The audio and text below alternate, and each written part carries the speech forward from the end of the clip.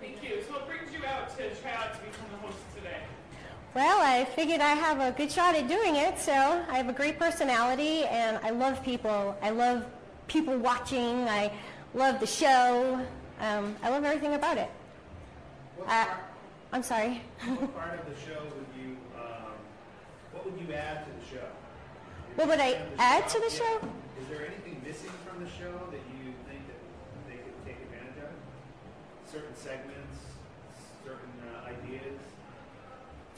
Well, I don't really not like the show. I mean, I really like the show the way it, way it is. I mean, they cover everything that um, people are interested in. You know, the entertainment, the cooking. I, um, they go out to different venues. I, I really like the way the show is, actually. So I personally wouldn't change anything. No. What would you want to be involved in on the show then, what exists already?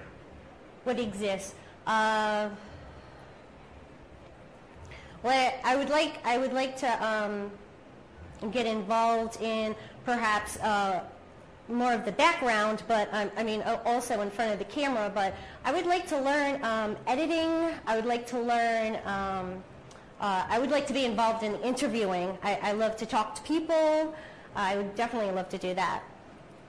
Um, there's a lot of entertainment news in the show. Uh, talk about pop culture. Where do you get your entertainment news? My entertainment news, uh, various places, uh, TMZ, E! News, uh, online, uh, all over the place.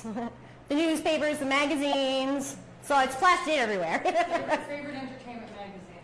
My entertainment magazine, uh, People. I like People because they keep it clean. They don't get too uh, filthy with their dirt. I don't like the filthy dirt. I, I really like spice, but not dirt. It's not as good a season with dirt.